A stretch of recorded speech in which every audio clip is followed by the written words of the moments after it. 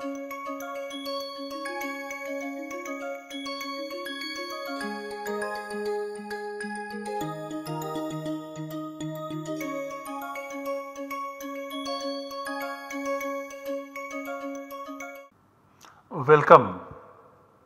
I welcome you all to this lecture in the course Introduction to Paninian Grammar. We are studying the features of the meta language of Paninian grammar and we noted three features namely meaning of the word, who is head and who is subordinate. In the object language it is the meaning meaning which is the head and the word form is the subordinate. The second feature was the meaning of the cases 5th, 6th and 7th. In the object language the 5th case is translated with the help of the word from. In the meta language however the same 5th case in addition to this meaning in the object language also means immediately after and this meaning is in correspondence with the first difference that is the word form as a meaning is the head. The sixth case in the object language stands for or is translated with the help of the word of.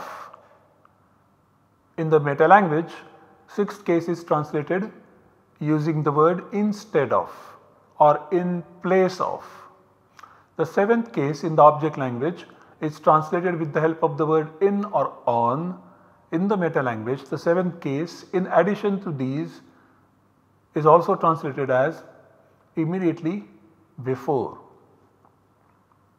The third important feature of the meta language was forming the pratyahar, the technique of pratyahar. This is a technical term used by Panini which in a concise manner refers to a huge set of sounds which are part of a grammatical operation be it an environment left hand side or right hand side or the major grammatical operation namely the substitution. It could be a substituend or it could be the substitute. After studying these important features we started to study in detail the technical term ith and we will continue studying it further in this lecture. So, markers in the meta language of Paninian grammar that is the broad theme we are looking at and today we shall deal with consonant markers. In the previous lecture we saw how vowels are termed as markers by which sutra and we then also looked at the examples. Today we shall study the sutras in the Panini's Ashtadhyayi, the Paninian grammar which talk about consonant markers. So, the, in all there are these sutras which talk about the technical term ith. The technical term ith is defined in this set of sutras. Now we shall study these sutras. It is these sutras which primarily define the consonant marker.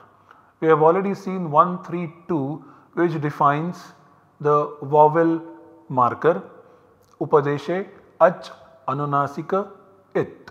Today we shall focus on the consonant markers and on the first two sutras.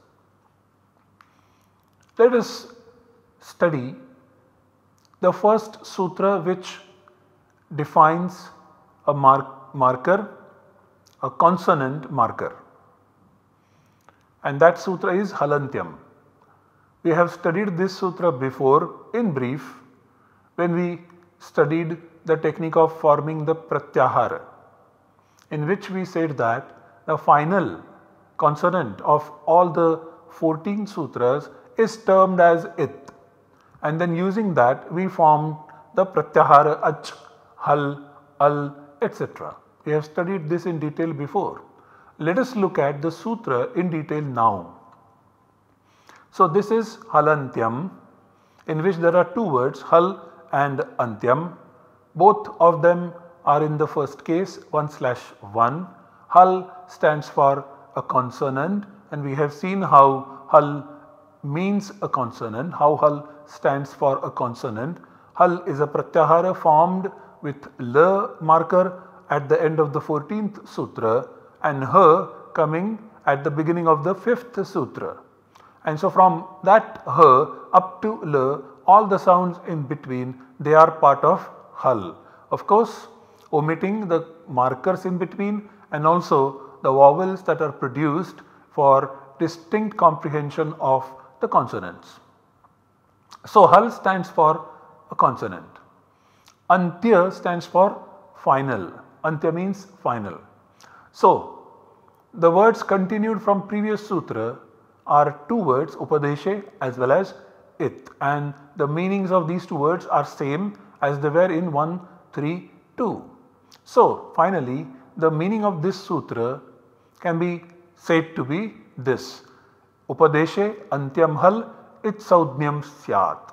That is the meaning in Sanskrit. So, in English we can say that in the initial enunciation that is the Upadesha, a consonant at the end is termed it. That seems to be the meaning of this sutra. To study this further, we can say that we have seen how the final consonants are termed it in the initial 14 sutras. This we have seen which help form the other technical terms called pratyahar like ach, hal, al, ik, yan etc. Apart from forming the technical terms called pratyahara, there are some more purposes, some other purposes of the consonants being termed it. So, let us look at some of them but before that we can also enlist where all the consonants at the end in the Upadesha are termed as it. Some details. For example, it consonant at the end of a nominal root. A consonant can occur at the end of a nominal root which can be termed as it. A consonant can come at the end of a verbal root and it can also be termed it. Similarly, at the end of a pratyaya, you can find a consonant which can be termed as it. Similarly, an augment, agama, can also have consonants at the end and that consonant can also be termed as it. So, pratipadika, dhatu, pratyaya and agama they all constitute what is known as upadesha and a consonant that appears at the end of all these can be termed as it by 133. Let us look at the examples of each one of them. The first is the consonant coming at the end of a nominal root or a pratipadika. Let us take the example Devat. Devat meaning God. Similarly Nadat meaning a big river. So as you notice t at the end appears in both these words and we apply 133 and this t becomes it. This t is termed as it. So now these nominal roots deva and nada they will be called tit having t as it. That means one who has consonant t as an it as a marker. What is the purpose of this t over here? What does it trigger? So now it triggers 4115 which will add a feminine suffix e in the sense of feminine to this word deva and nada by using tit as a trigger. So this 4115 tit dhanai and so on. So tit is the first word here and this triggers the feminine suffix e to be added to these words. So we have deva plus e Deva means a god, E is a feminine. So now we get the word Devi and the meaning is goddess. Nada plus E and then you get the word nadi which means a river.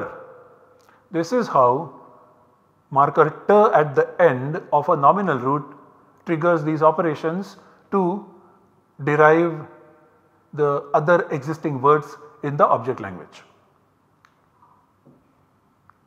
Let us look at the consonants coming at the end of a verbal root and what do they function for. So, consonant at the end of a verbal root or dhatu. For example, shing swapne to sleep or kung shabde to make sound. At the end of both these verbal roots shing and kung we notice that ng comes at the end. This ng appears at the end of these verbal roots and by applying 133 ng will be called it. Therefore, both these roots verbal roots will be called ngit, ng, it. Those who have ng, it that is ngit both of them are ngit. One who has consonant ng as an it. Now this ng, it or ngit feature will trigger the operation stated by 1312 which adds Atmanepada suffixes to these verbal roots by using ngit as a trigger. Anudatta ngita Atmanepadam. And so from root she we will get the words shete by adding the Atmanepada suffixes. Similarly, Kung will get the word kavate by adding the Atmanepada suffixes. Now let us look at how a consonant coming at the end of a pratyaya is termed as it and how does it function, what does it bring about. So take for example yat, yat as a suffix. We have already seen this, acho yat. Yat is stated in the sense of karma and bhava. Similarly tavyat stated in the sense of karma and bhava. So, at the end of these two suffixes yat and tavyat we find the consonant and by applying 133 will be termed it and therefore these two suffixes will be called tit having ta as it one who has consonant ta as an it.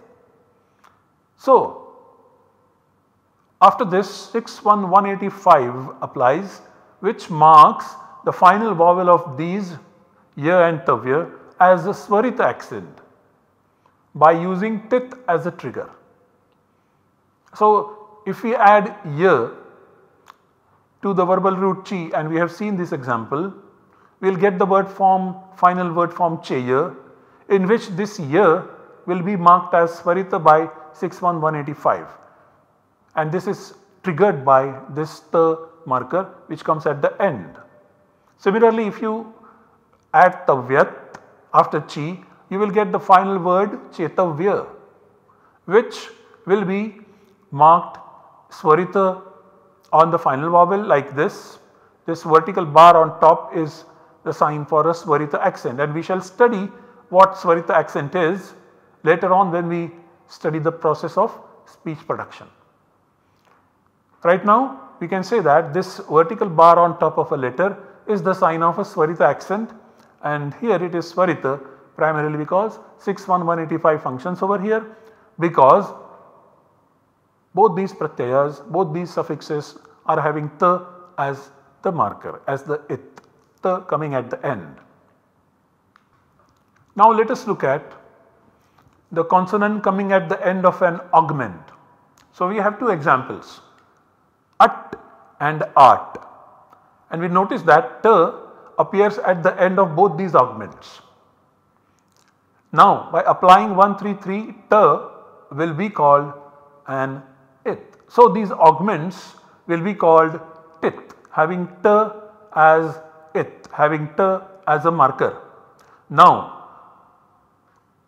1146 will add these two elements at the beginning of a verbal root by using tith as a trigger.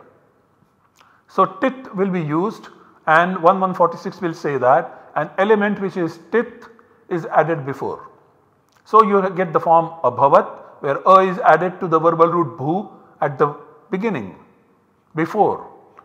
Similarly a will be added to the verbal root asa before it because it is tith following 1146. So now we have seen how the consonants coming at the end they are termed as it and we have seen examples where consonants coming at the end of a verbal root, a nominal root, a suffix and an augment is termed as it and that leads to various grammatical functions because the marker triggers the respective operations stated in the grammatical rules. That was about 1.3.3. We have studied it in detail now. Now let us proceed further and look at the next rule which says something about the consonants at the end being termed as markers and this is in fact a negation. Let us look at the rule na vibhaktau tusmaha 1.3.4 na vibhaktau tusmaha. Here there are three words in the sutra na vibhaktau and tusmaha. Na means not Vibhaktau is 7 slash 1 of Vibhakti and Tusmaha is 1 slash 3 of Tusma. Vibhaktau here means in the Vibhakti. This is the object language meaning which is used here. Tusmaha is 1 slash 3 of Tusma. What is Tusma? Tusma is a word made up of three components. The first one is tu, second is sa and the third one is ma. So, what is 2? 2 is defined in 1169 to mean 5 consonants of the class namely the fourth row the, th, the, the and n in the traditional inventory sound inventory. This is what is 2 and sa and ma we know. So, the words that are continued from the previous sutra are these two Hal and Antyam from 133. So now the meaning of this sutra is in the Vibhakti Ta, Tha, Da, Dha, Na, Sa and Ma at the end are not termed as it. So this is the negation. By the previous sutra 133 all these sounds coming at the end of an Upadesha they would be termed as it. But now this sutra in a limited domain of vibhakti which is also part of the Upadesha states that these 5 plus 2 7 these 7 sounds they are not to be termed as it in a vibhakti otherwise you can but not in the vibhakti. So what is a vibhakti that is the next question. So, the term vibhakti is defined by 14104. Sup and ting according to 14104, sup and ting are termed vibhakti. What is sup? Sup is a set of 21 suffixes added after a nominal root that is by 4.1.2 and ting is a set of 18 suffixes added after a verbal root by 3478 and both these suffixes when added to these respective roots make it a pada, a word, finished word form to be used in a sentence, eligible for using in a sentence. So, sup and ting they are called vibhaktis. There is one more section in the Ashtadhyayi 531 to 27 the suffixes stated in this section they are also termed as vibhakti and here are some examples tral, da, danim and thal. So now l coming at the end of uh, the suffix tral, da, danim, ma and thal, l again coming at the end. Now in these cases we note that these suffixes are termed as vibhaktis. So, ma coming at the end over here would otherwise have term have been termed as it by 132 but now this is vibhakti. So, ma coming at the end is not termed as it whereas this la coming at the end over here in both these suffixes this is not part of 134 and therefore even though this is a vibhakti la can still be termed as it and these two suffixes will be termed as lit and then following and then the function namely accent a particular kind of accent that will be triggered by this la by this lit suffix. But most importantly ma will not be termed as it that is the meaning of 134. Let us take a close look at sup and and see where the consonants coming at the end are not termed as it. So, here are the 21 sups for you s, au, us etc. And so you see s comes at the end, s comes at the end here, here, ma comes at the end here, once again ma comes at the end in these 3, s comes at the end here, ma comes here, s comes at the end in 6 2, 7 2 and in 5 1 6 1 s comes at the end. So these are the vibhaktis and we note that s and ma are the two consonants which appear at the end of these 21 suffixes, many of these 21 suffixes and they are not to be termed as it. However, in the same 21 suffixes there is one instance where pa comes at the end.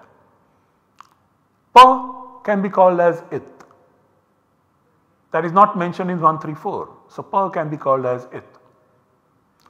So, these are the 21 sups and this is the position, this is how 134 is applied in these 21 suffixes and ma and sa are not termed as it. As we shall see they are also part of the actual OL object language. So, here are the forms and you see Ramaha, Ramau, Ramaha etc. In these 21 forms Ma is directly visible in this and these other forms. Na is all directly visible over here. Ma is also visible in 6.3. Ta is visible over here 5.1 and then Ramaihi, Ramebhyaha, Ramebhyaha, Ramayoho, Ramayoho. Sa is also visible over here. Sa is converted to a visarga at the end. Similarly Ramaha. In all these cases now we have na, ma, ta, sa, 4 consonants mentioned in 134. These are all subantas at the end of which sup comes.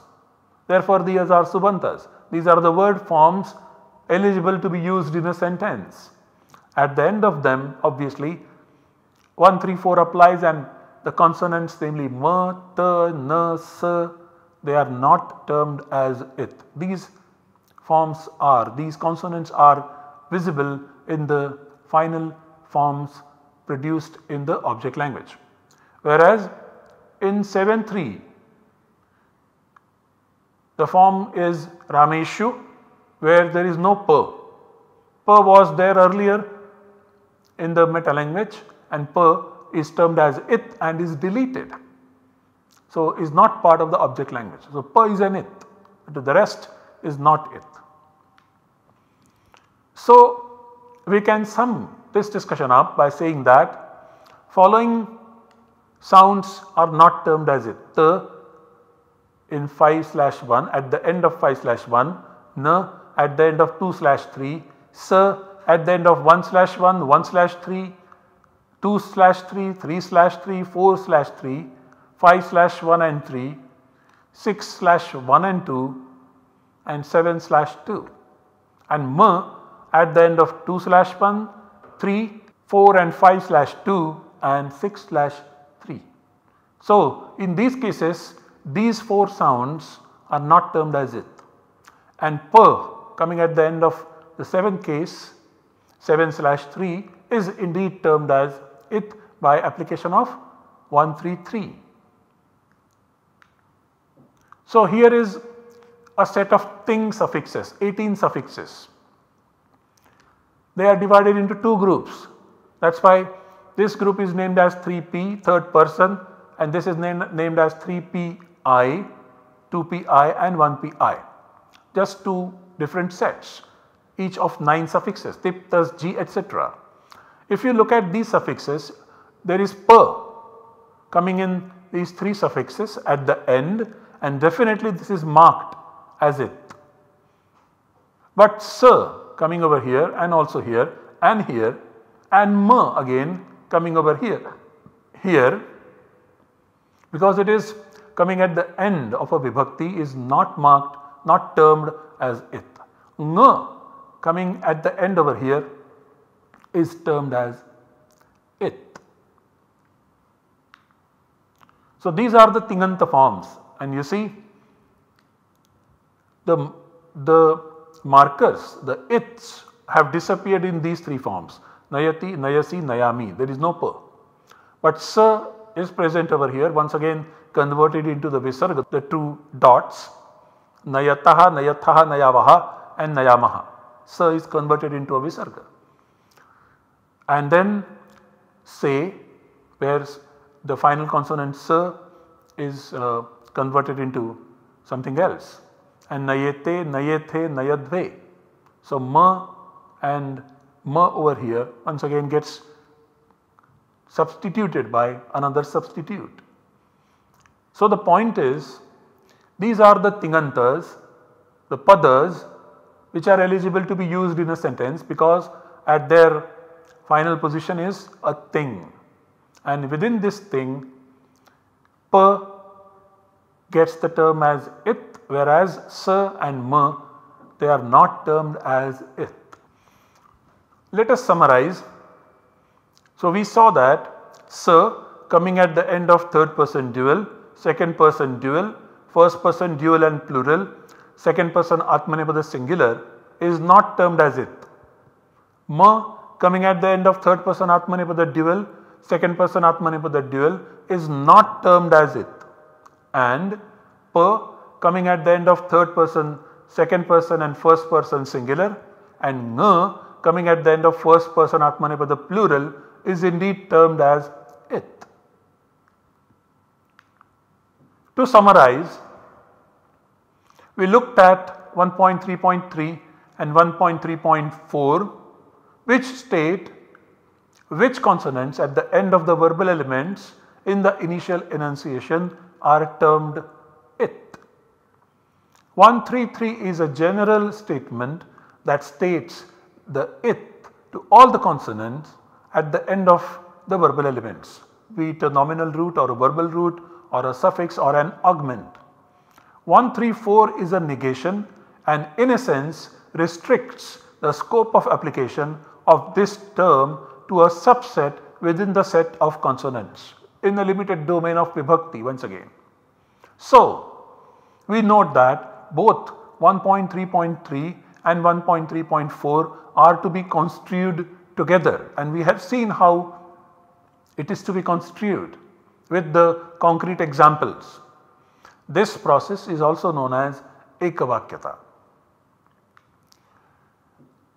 This Ekavakyata tells us that in the initial enunciation any consonant at the end that is in the final position of a verbal element except tatha dadana sa ma at the end of the vibhakti are termed as it. This is the bottom line. This is the ekavakyata of 1.3.3 and 1.3.4.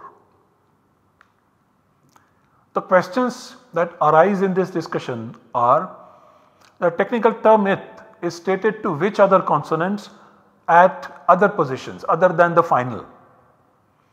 Are they stated, are they termed it at the beginning of the verbal elements? And also are there any clusters, vowel plus consonant clusters which are termed as it and we shall study this fact, these questions and their answers in the coming lectures. Let us now end today's lecture as is our practice with the Mangalacharana taken from a commentary text called Prasad, Prakriya Prasad on the celebrated text called Prakriya Kaumudi. This is a big verse, I will read it for you. श्रीमद्विट्ठलमेकमव्ययमजं शब्दात्मकं ब्रह्म यः स्वेच्छा तो जगदुद्भवस्थितिलये हेतुस्वमायागुणैः यच्छ्वासश्रुतिसन्ततिव्यवहृतिस्तं पुण्डरीकाश्रमे भक्तानुग्रहहेतुतस्थितमहं वंदे मुदे संविदे it again it again. श्रीमद्विट्ठलमेकमव्ययमजं शब्दात्मकं ब्रह्म यः स्वेच्छातो जगदुद्भवस्थितिलये हेतुस्वमायागुणैः यच्छ्वासश्रुतिसन्ततिव्यवहृतिस् तं पुण्डरीकाश्रमे भक्तानुग्रहहेतुतस्थितमहं वंदे मुदे संविदे And finally, five sutras of today taken from 2.4. The first sutra is द्विगुरेक वचनम देन द्वंद्वश्च प्राणितूर्य सेनांगानाम अनुवादे चरणानाम। अध्वर्युक्रतुरनपुंसकम। अध्ययन तो अविप्रकृष्टाख्यानाम। आई रिपीट द्विगुरेक वचनम द्वंद्वश्च प्राणितूर्य सेनांगानाम अनुवादे चरणानाम। अध्वर्युक्रतुरनपुंसकम। अध्ययन तो अविप्रकृष्टाख्यानाम। Thank you for your attention.